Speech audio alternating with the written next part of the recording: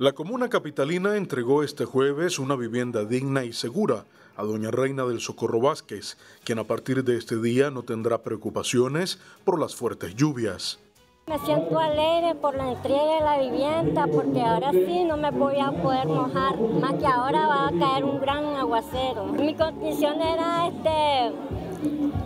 demasiado dificultades y este, estaba demasiado pues mal eh, mucho se me mojaba adentro, mucho se me metía el agua para, de afuera para adentro y tenía que hacer zanja para buscarlo para que salga el agua para afuera, pues. El embajador de Taiwán en Nicaragua, Jaime Chin Mugu, manifestó que su gobierno continuará apoyando al buen gobierno sandinista para restituir los derechos de las familias a una vivienda digna. El gobierno de Taiwán siempre acompaña los esfuerzos de gobierno del presidente comandante Daniel Orrega,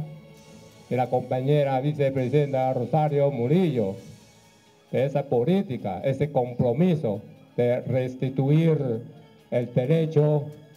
a vivienda para las familias humildes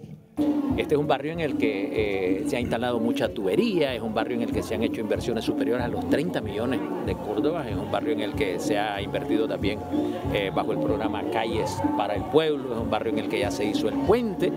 es un barrio que ha ido mejorando, que ha ido cambiando, es un barrio en el que ya habíamos entregado antes eh, gracias al apoyo de los hermanos de Taiwán, 14 viviendas dignas, ya son 15 viviendas dignas aquí en el barrio Naciones Unidas en el Distrito 5, ya con la que le entregamos a, a doña Reina el día de hoy. Rudy Contreras, Multinoticias.